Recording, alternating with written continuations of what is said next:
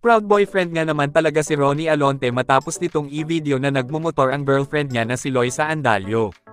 Narito ang buong detalye.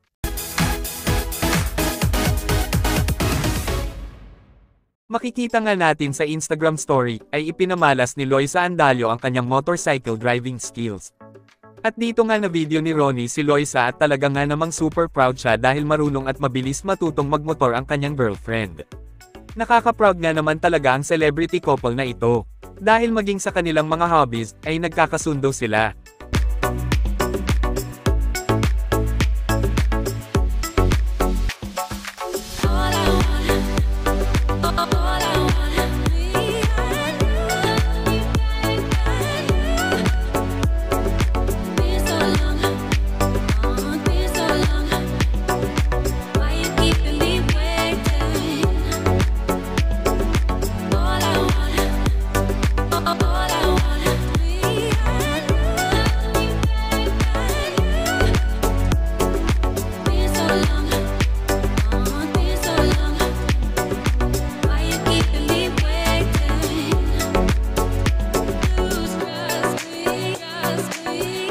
Kayo, anong masasabi nyo tungkol dito?